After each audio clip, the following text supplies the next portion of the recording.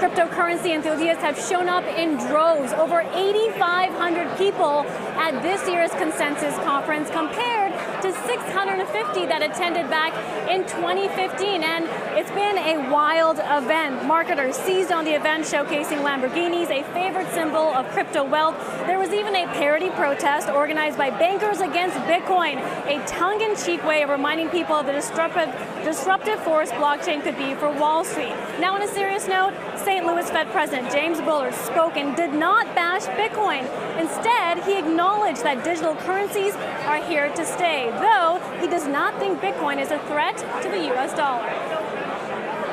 We think uh, blockchain technology is very interesting, and of course, there's been a lot of uh, new issuance of uh, cryptocurrencies, so we're keeping an eye on that. Uh, so we want to be very engaged and uh, thoughtful about as this proceeds. Still, noteworthy investor Barry Silbert sees more money going into cryptocurrencies. Finally discovered crypto, and I think there's a tidal wave of capital that's about to flow into this asset class. And as if on cue, HSBC making news announcing its first trade finance transaction using a single blockchain platform, which involved the shipment of soybeans from Argentina to Malaysia. So we're slowly starting to see more companies put blockchain to use. Melissa? All right, Seema, thank you. So uh, the question here is, is Wall Street starting to warm up to crypto? And Dan, we've been at a couple of Credit Suisse blockchain conferences, and James Disney over at Credit Suisse always talks about how the firm is looking at ways to use a blockchain in order to yeah. to save time and, and, actually save money. So there's so many things going on in crypto, blockchain, yeah. and when you think about like bankers and the guys that I speak to, especially guys like James at Credit Suisse, they're thinking about how they can advise companies to use this technology to kind of disintermediate certain processes that are going on, to cut out middlemen, that sort of thing. So to me, that's really what's very interesting right now about blockchain. That last bit they just said, you know, it's a logistics thing. It wasn't that yeah. wasn't a crypto trade of soybeans that you know to Malaysia. It was tracking a shipment. Right. That and it could also disintermediate letters of credit. IBM and Maersk have a, a JV already. And, and, that's that's really where we've been grappling on this desk, and I think people are trying to look at companies and, and, and drop in a, a blockchain framework and how it's going to change their business. I mean, bottom line is it's going to bring some companies to the center of their industries. There's obviously industries building around it, um, but for now, uh, unfortunately, we're not really able to see who's doing doing what. And I think playing this on the stock by stock is really, you know, I, I think there are people that are out there doing that, but I think the best way to do it is look at the people that are changing the landscape on the inside. All right, let's bring in Arthur Hayes, the co-founder and CEO of BitMEX, the Bitcoin Mercantile Exchange, which is the largest crypto trading exchange by volume. In a former life, by the way, he was a top trader for Citigroup. So, uh, Arthur, it's great to get your analysis here Thanks on the subject. Me. Welcome to the show.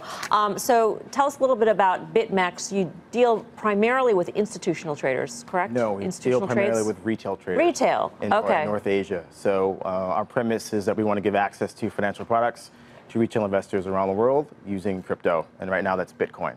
And so we offer highly leveraged derivatives, um, 100 times leverage we offer on the Bitcoin. 100 times leverage. Correct. And our uh, perpetual swap product is the most liquid trading product around the world. Does about three and a half yards a day of flow. Okay, so so when we say it's by volume, it's because you're dealing with the retail trader, correct? And so they're uh, presumably not trading the volume, the, the dollar amounts that institutions are. Well, there's really not that much institutional presence right now in uh, crypto. It is a retail phenomenon.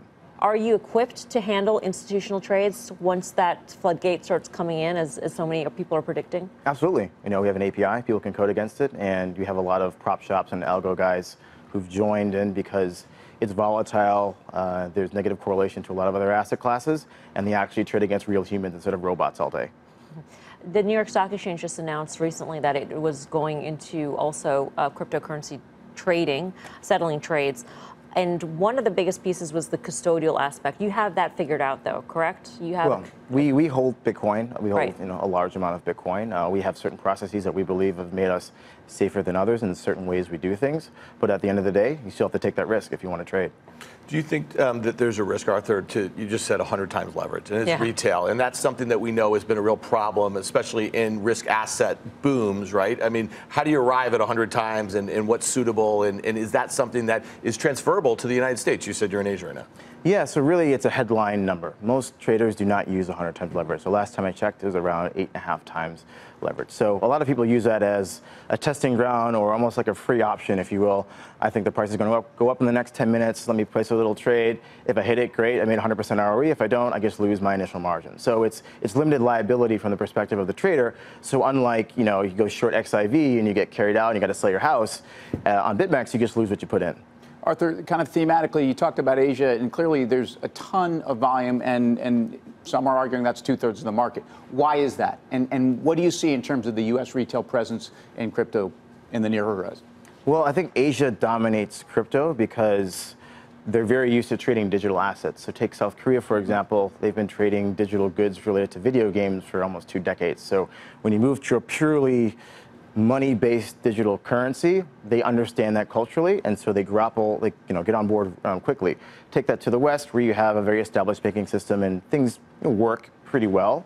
Why do you need to go out and find a new way to trade or new way to do things? You have, you know, broker that offers you options, futures, all sorts of different products. So you move that into the developing markets where you don't have these type of products, and you see people who are a lot more interested in it. You've got a stunning Bitcoin forecast. Where do you see it going? 50,000 by the end of the year. By the end of the year. Correct. Now, in January, were you a little bit wobbly about that prediction? No. No, it's my job to make predictions. Whether or not they're right or wrong doesn't really matter to me. Oh, so you acknowledge them. you might be totally off base. Parker, welcome to the show. You could be one of us, I guess. Wh- wh- why is that?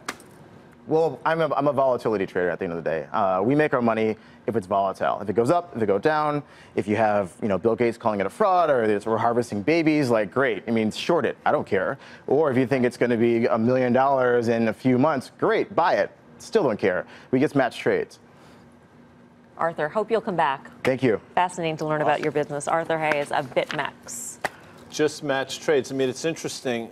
Mean, Dan made the correlation between, and it's a great business. I'm sure they're killing it. But he made the correlation between is now gambling being legal going to hurt? I mean, in a lot of ways, what you're doing there, you're the man. I'm not bringing the guest back, but he's the middleman of a Oh, ga- you of kinda people did. gambling, basically, which is fascinating.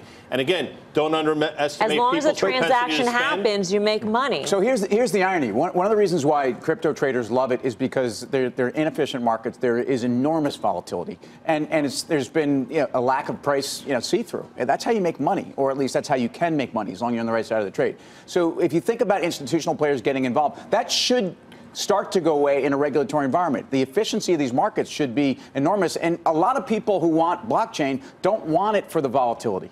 And you know, you call store of value this and that. That's one of the big debates that's out there. Tell you what I loved hearing. Arthur's a brother from another for me right now, and, and for you, I In hope, because the whole idea of this being a derivatives opportunities Oh, here yeah. and your limited risk to buying something that you think is going to go fly into the upside. I mean, it, it's the options world that we that we work in It right is, now. you know, with I, liquidity. I, am kind of more in Tim's camp. I mean, this is my very solid belief that it, it is is gambling that doesn't have regulatory framework, and we are just talking about you know gambling that's existed forever people on want that. I know, but I, and, and I think right now when you're thinking about the volatility, there's a lot of stuff going on. You know, remember remember stock trading before Reg FD, that sort of thing. There's information arbitrage that's going on, and I think there's very few people that have all the information in the crypto space right now. So to me, I, I think it's still true Well, I'm just saying, it's a bit of my a it's a opinion. rigged game. Okay, so uh, you know we could never go out to somebody and say you should trade at 100 times leverage, and you're even if you're risking what you're willing to lose. There, what are you basing it on? A feeling, a gut? You wake up this morning, Bitcoin's going back above 10,000. I I don't know, maybe. Well, and it seems to me, and, and you know, Arthur's didn't sound like he was that convicted to call it 50,000. He cares more that there's enormous volatility in a sector where his company is well positioned to do it. But but that almost seems to be the story. The story is that at least for a couple of the core vehicles that people can play that trade actively, you know, oh. l- let it rip. He let it sucked rip. me in right and away. may- maybe part of the story is the picks and shovels as opposed to the end product. that's the right. way- I mean, in terms of investing in this space, He's if got the the picks and the is going- shovels. Right. No, but he's not Invest in mining for gold. Make money he's not all mining for gold. He, I mean, and what he said, he doesn't even care if it gets to 50,000. Yeah, but there's no That's- exchanges in the U.S. that are allowing people to do 100 times leverage for good reason. They know that our regulators would be probably would all over that be. in a half a second.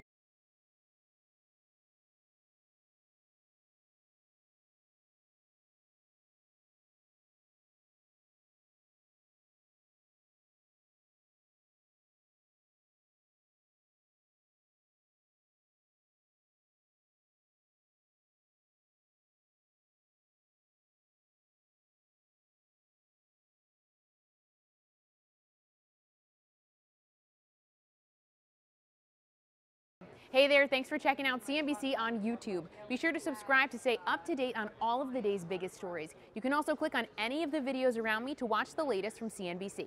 Thanks for watching.